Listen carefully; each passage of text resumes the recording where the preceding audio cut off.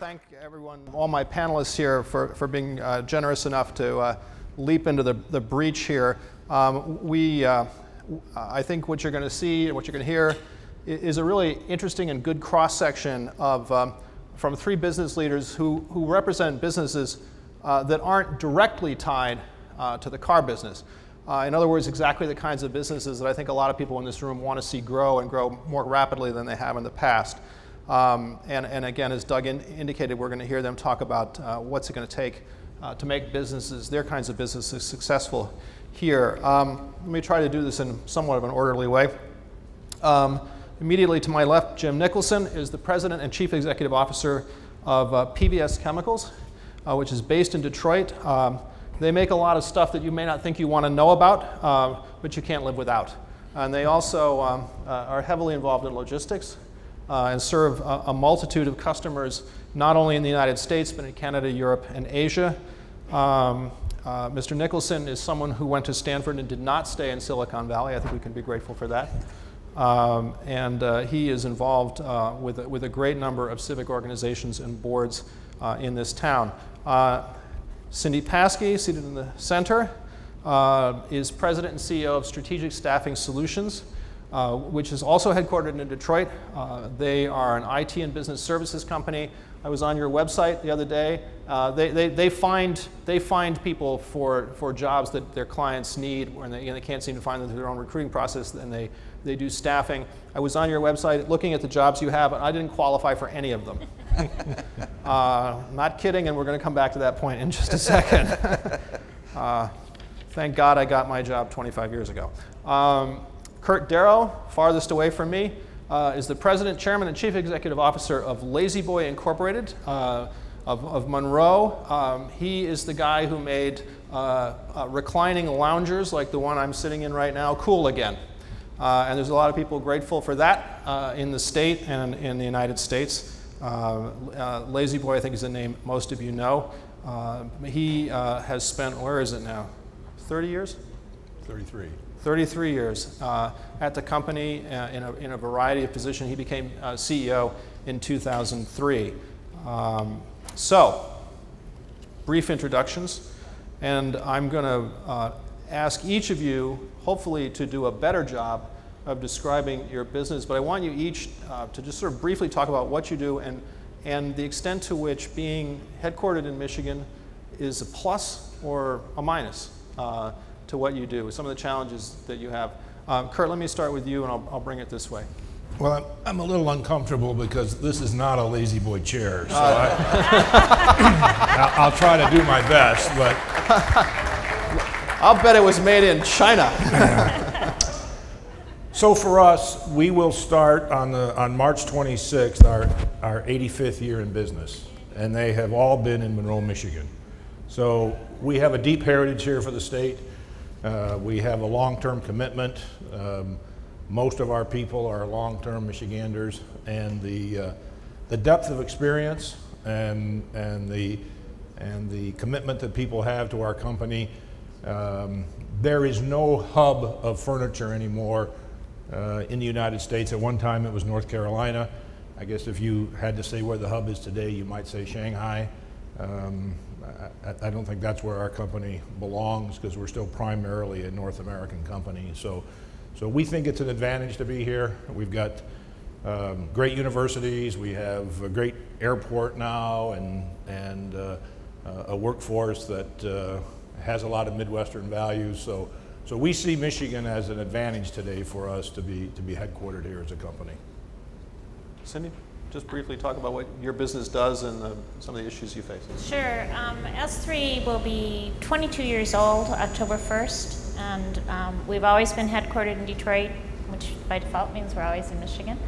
Um, we do information technology consulting, management consulting, but 1,800 employees um, deployed across our customer sites from here to um, California. We're in Eastern Europe and Lithuania, which has some great furniture makers I'd love to introduce you um, and uh, in London. And we service large financial institutions, energy companies, insurance companies, um, and a few other um, entities that get their own classifications, like Monsanto out of St. Louis. Um, we're, uh, we've grown every year we've been in business, um, and we've been profitable every year we've been in business. Uh, we did $220 million in sales last year, and we started from scratch here in Michigan. So our perspective of Michigan and Detroit is that you can carve out, um, you can carve out opportunity and market, um, and you have to look for um, when you when you engage in organizations like BLM or in, in um, the political process for barriers that you can remove to, to drive even more forward. When you're a small company starting out, um, the, the whole ability to get around. I mean, you look at our airport, I don't have a private plane and I probably never will. so when we started growing and we recognized if we were going to sell to the banks in Charlotte, we needed to be in Charlotte. If we were going to sell to the bank with the big wagon, we needed to be in San Francisco. Um, you have to be able to get there. And the airport that we have and the access to go across the pond, to go really anywhere in a day, made us be positioned to be competitive with very large corporations, with corporations that did have their own jets, all of those type of things. So, and our talent base would be the second. Um, engineering and IT are always listed out separately, but the ability to perform well with any of those disciplines requires the same skills, the same mindset, the same ability to learn. Um, and so the talent that we've needed has always been in Michigan. Um, and, and it was a good way to start here. Um, challenges, uh, you know, we went through a period of, um, you know, what was your tax today and how much was that going to cost? Um, Do you feel that's solved at this point? Uh, no, but it's closer. Okay, we'll come back to that. Yeah. Right. Um, and then the thing to keep in mind when you have a service business like ours, um, we are we have as much opportunity as our customers are strong. So most of the people here in this room that have heard me speak will hear me talk more about the finance in, in, in industry, the energy industry, the insurance industry, because that's who we sell to. Um, and I think that made, for a while, doing business in Michigan a real challenge um, because none of those industries were trendy for a while.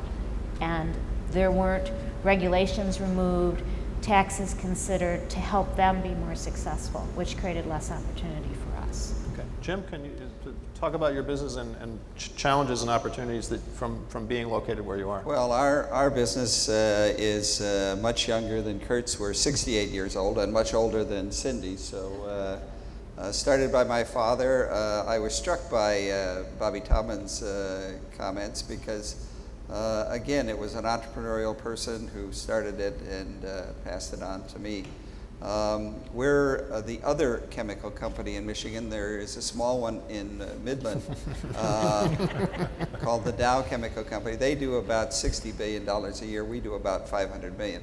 But we have aspirations. Um, they're a little older than we are, uh, so we're working on it. Um, we make products that you, as Joe said, things you use every day. Um, if, uh, if you have a car, raise your hand. Did your car start this morning? Raise your hand. Well, it started because there's sulfuric acid in the battery of your car. I make sulfuric acid. So every day when it starts, you could think about a little thank you note to Jim. thank you, Jim. A call, an email, thank you. Uh, and it doesn't start, then I, you're going to buy some more sulfuric acid, and then you're a customer, and I will be uh, gracious and uh, treat you like the customer you should be. Um, uh, so uh, we also make a lot of other things, water treatment chemicals, and uh, we have distribution business, we have hazardous waste business. Um, so, but we're based here, uh, started by my father. I uh, began my career there 40 years ago, right at the bottom as a vice president. Uh,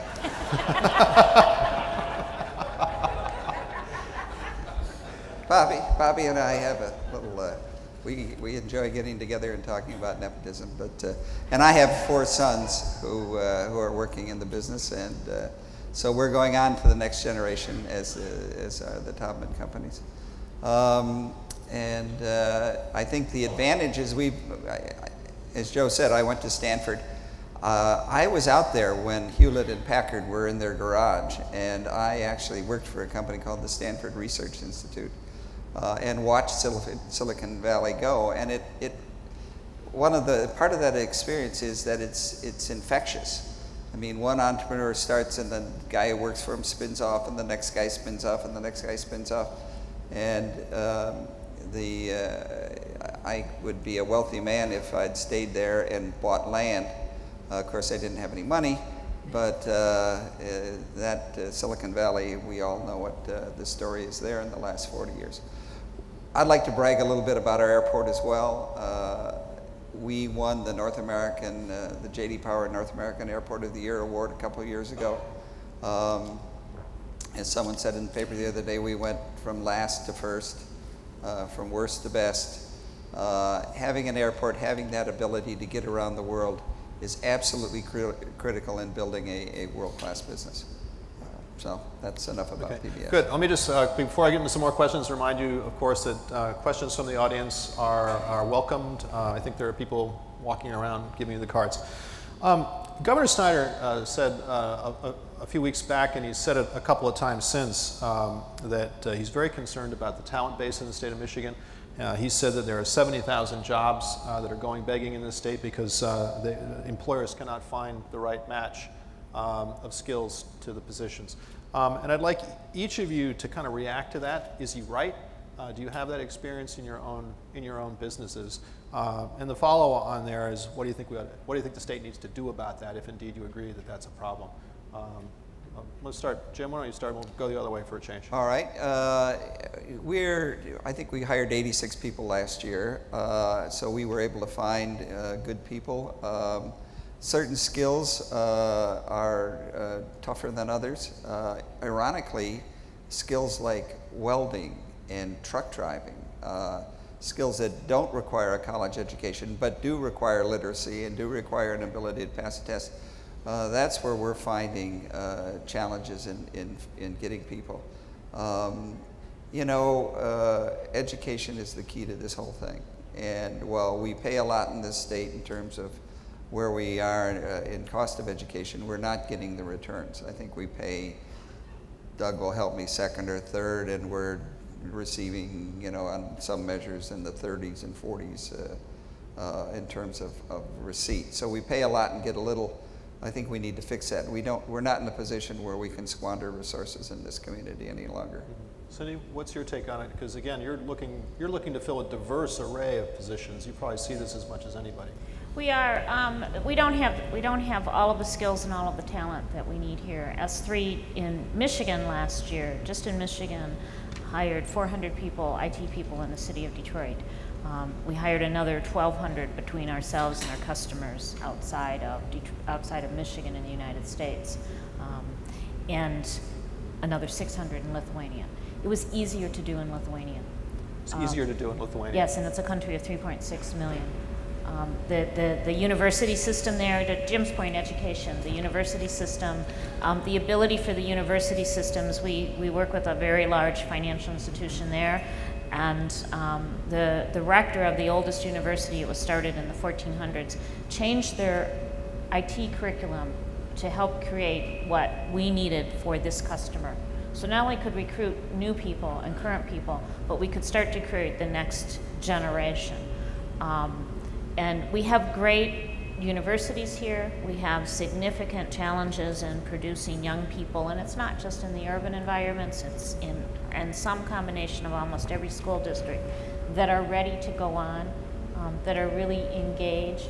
Um, and for a long time, and for a long time, I think this is this is starting to change. Um, you know, the industries that create the most jobs aren't always considered the trendiest. And we'll talk about healthcare. There is every type of job possible in healthcare. Someone has to cut the grass, someone has to do the heart surgery, someone has to run the technology, not just for the back office, but for the laboratory system, the radiology system, the ICU units. And for the longest time in our state, any type of healthcare job was never at the top of what we should try and figure out how to create. And when you, when you look at our challenges and the depth um, that type of industry employs everyone, or it can, right? You don't need a college degree to cut the grass or work in the kitchen. You don't even need a college degree to learn how to draw blood. but you could get a good enough job that you could go back to school to then be the nurse. Right, right. Kurt, your company, your company manufactures things, but you also design things. You also come up with marketing strategies. It seems like you need people who can do all of those things and probably several other things I forgot to mention. Are you able to find those people here? So I, I missed the paid political announcement early on. So just, just you think, some of you may think you know La-Z-Boy, but uh, we do more than chairs, although we're the world's largest producer of reclining chairs. Uh, we're also the second largest provider of home furnishings uh, in the United States. And we have the ninth largest retail chain uh, of any furniture store. And if you go into one of our stores today, and gentlemen, if you go, please bring your spouse or your significant other. Uh, but we will offer you free in-home design services and come to your home and make your room look a lot better than it does today. So just keep that in mind as you leave today. So um, I'm proud to say that uh, through all the changes that have happened in our industry, which have been massive, um, we still manufacture every bit of upholstered furniture that we sell here in the United States. Now, we, thank you. And we were able to um, keep 8,000 employees active through that process. Uh, we did lose a number of employment in our case goods or wood furniture business to Asia, but uh, we reinvented ourselves and, and are a very competitive force here. Um, and when we talk about employment, of our 8,000 people, we only have 500 here in, in Michigan at our at our headquarters because all of our manufacturing plants is where we have the real employment and the engineering and things of that nature. So, so it, we still have some challenges at some of the, uh, the creative and the engineering jobs, but those are nationwide for us, not necessarily just, just Michigan-wide. So um, we, uh, I, I, tell everybody at our headquarters that we're pretty much overhead here at the headquarters. Uh, we don't make it, we don't sell it, we don't deliver it. Uh, but the financial uh, people we have, the, the, the IT people that, uh, that help uh, move our business forward, we're, we're able to be satisfied with what we're getting out of the state today. So I want to come back uh, to a point, Cindy, that, that you alluded to just a second ago. Um, and, I, and I want each of you to kind of jump in on this if you can. To the extent that you're concerned about skills gap issues, you know, be it at the level of a truck driver who can't read the instructions or, you know, getting someone who's able to do your creative design or finance work. Um, do you feel that the state or local, I don't know where that booming is coming from, the state or the local governments need to do more, or is that something that you feel that your companies can or should do on their own with maybe some change in the environment to encourage you to do that? I'm just sort of interested in whose job it is to try to deal with that problem. Jump ball, go ahead. I, I, well, I think it's both. Um, but I think that the business community needs, which is, which is what we're working to do in BLM, we have to take the lead. Um, and we have to have higher education and um, elected officials as appropriate at the table with us as we try and drive this change. Um, but we need to be the voice that says this is what we need to fill the jobs that we know we can create. And we want you at the table at the beginning of that process so that it can start to happen. Now, we can't do it alone, nor should we, um, because there's a, there's a point at which there will always be, at least in our next 10 or 20 years, the need for some type of public education. Um, but shame on us if we don't start it to say, here's what's missing um, at this level. To, to Jim's point, the, you know, we need people to be able to read and do math. But then also when we can create the jobs that, that we can fill, making sure that our universities and our community colleges are at the table early in the game to say these are the types of opportunities that we can create in this state. How are we going to make sure that you have curriculum and you have an interest in filling them? Yeah, I think when, what we're seeing is that we're disinvesting in what we do best i.e. the, the research universities. We've taken over the last 10 years about a billion dollars out of, out of them. And of course, they've raised their tuition to make up for that because their costs are fixed. And you're starting to price them out of the middle class market. Uh, on the other hand, we take $8,000 a child times 12 years, uh, and at the end of the day, uh, we may or may not have a functionally literate person. Uh, we've got to stop squandering those funds. We, we need to measure uh, what we're doing there and hold people accountable as we do in the business world. And you know that's part of what we're. I mean, we are measuring those kinds of things. Uh, you don't manage what you don't measure, and uh, so BLM, uh, with its business focus, is measuring what we think are the relevant variables. I think there's a parallel path here. In addition to the skill set, uh, it's also our locale. I mean, young kids, and we, we hear it all the time about the number of graduates that graduate from, let's say, the University of Michigan, leave our state. So as our state was declining, attracting, even if you found the person with the right skill, skill sets was harder. I think the better our state does, the, the way we start going forward, I think that'll help all of us recruit people to our, to our state that in the last 10 years maybe has been a little more difficult. Let me come to a, a question about the business or question about the business environment, um, which we kind of flew over before, but I'd like to get you to speak um, more directly about it. Um, again, I think it's kind of useful that each of you represents a different kind of business, different size and scale of business. Um, uh, the tax structure in the state used to be geared toward three very large businesses, uh, and I'm wondering, uh, a, uh, how have the changes that have been have been wrought over the last couple of years uh, in the in the tax structure here affected you? Have they made a material difference in your views about you know hiring or expansion in the state?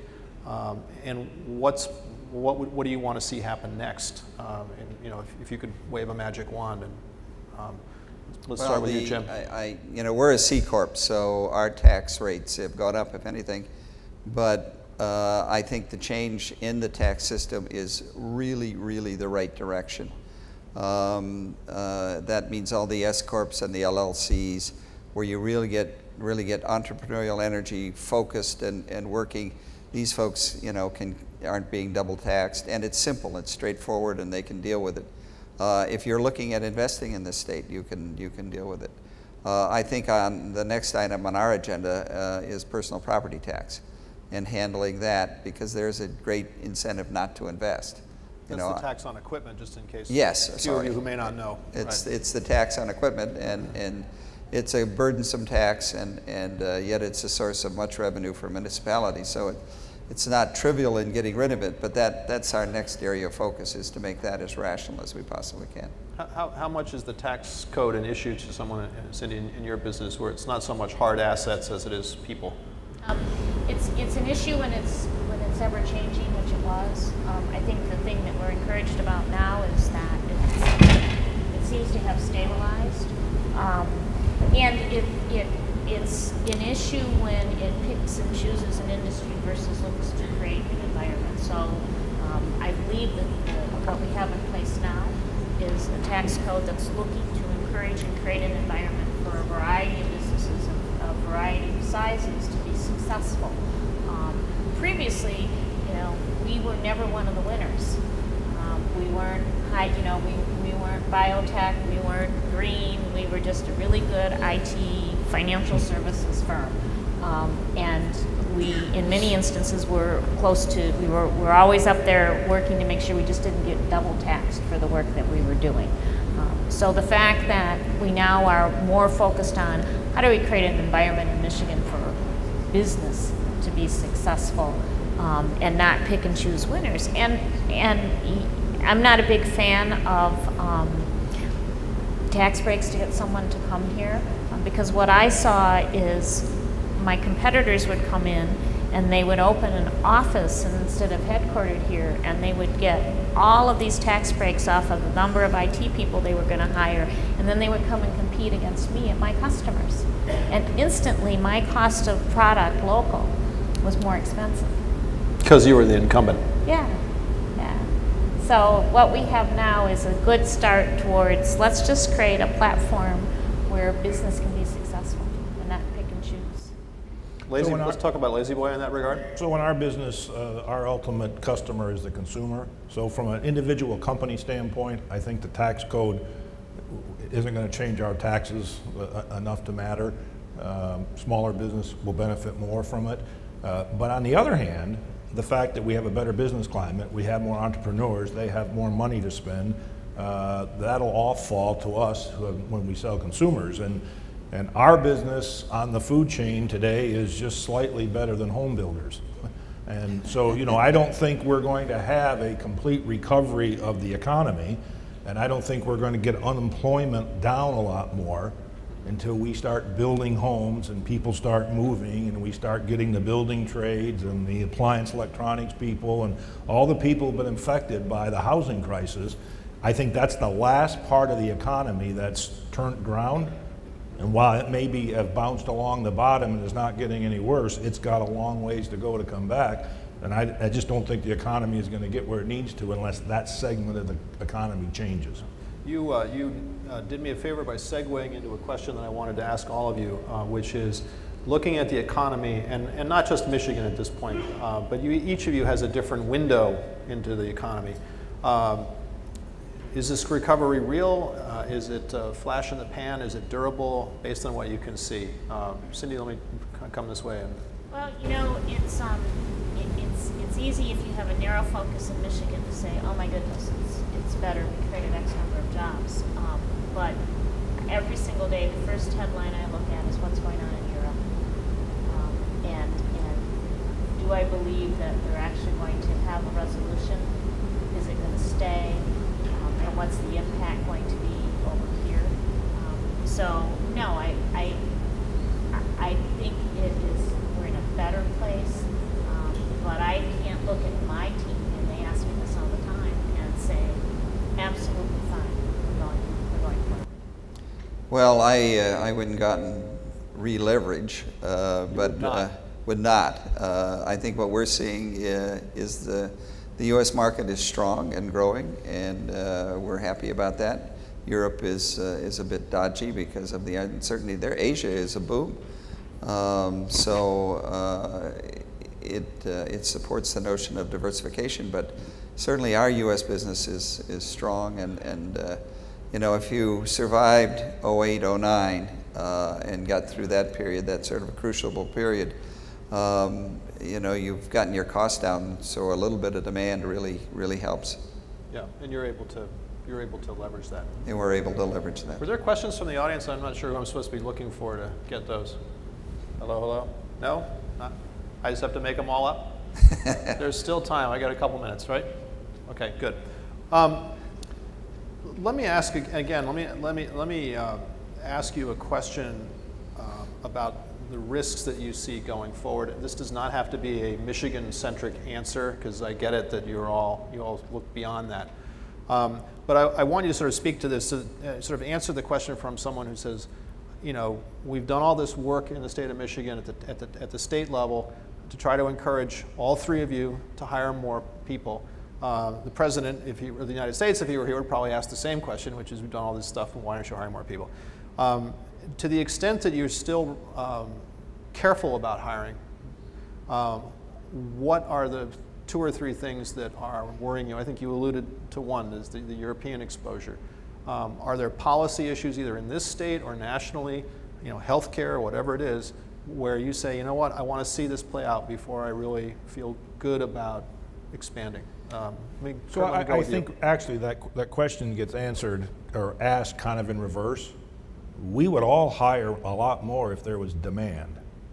But you have to have some demand. We, we, we we don't run charities just to hire people because the president asks us to help, help the economy. I mean, we're, so there's got to be a balance here between what, what has to start is demand and, and, and the hiring would come. But, you know, when, when I talk to people and, and our customers around the- world, and especially our country, you know, the, the, the burning issue for them is, is, is America headed the, the route of Europe? And, and when are we going to right our fiscal house? And how painful is that going to be? And what is that going to do to the consumer? And so and so more than more than anything else right now that seems to be on the top of everybody's mind about uh, America's debt load. And and when is there going to be some real changes to the entitlements and things of that nature so that we have a more stable um, government ourselves. And you don't see answers to those questions coming. I don't see any answers to anything until after November. So Well, I think, I think we're in a stalemate for the next six months. Okay. Cindy, how, how do you look at that? Well, you know, in our industry, we actually see some trends that are concerning us. You know, here in Michigan, um, we spend, and, and we do this at BLM, we, we spend a tremendous amount of time with the whole, you know, right to work labor issue. And, and it, it comes and goes because of where we are. But in our business, um, the good news is when customers are challenged, they may want us to do their work instead of them to hire. Right. So, um, and then when they're having, when they have a lot of money to spend, they need us to help them. So part of the reason why we've grown every year we've been in business, but a trend that we see that we think will ultimately impact our customers, particularly customers that require engineering talent and you know like pharmaceutical companies, not just the the auto companies. What it started in California and it's all the way to North Carolina is the whole idea that you start taking positions that are higher level in technology, higher level in engineering, higher level in, in medical and scientific design. And there's legislation that has been passed, and now it's pending in North Carolina, which will send a big ripple through North Carolina to reclassify all of these individuals so that you have to pay them overtime, no matter what their salary is based on the type of position. So in, in San Francisco, if we place a project manager at $100,000 a year, we have to pay him time and a half overtime because of law. Now, if that makes it to Michigan, and you look at what we're trying to do with all the engineering talent that we have, the, that talent can be transferred to every industry, right? You have to engineer packaging, you have to engineer for pharmaceutical, and it's no longer based on price point of this position. It's just based on, all right, engineers are now classified, they always have to have time and a half. You might as well just put them all in a union takes it, it makes it you can't do business that way. It will make it non-competitive again, and everybody seems to want to ignore that issue. Okay. Well, I, I, Cindy has an interesting point because often when politics trumps economics, you know, the people suffer. And uh, uh, but what I think uh, Kurt's exactly right. I think there's all this uncertainty, and when and people have deleveraged uh, and are sitting on a lot of cash, at least corporations are. Uh, and I think they're waiting to see what happens in November and whether we go the, towards the, uh, the European uh, state operation or we become more entrepreneurial as a nation. And whether we ever do uh, face these issues uh, about entitlements or that we, you know, we again wait until we're Greece. All right. I think we are out of time. And we Thank you. Thank you all of you for, uh, for participating. Thank you all.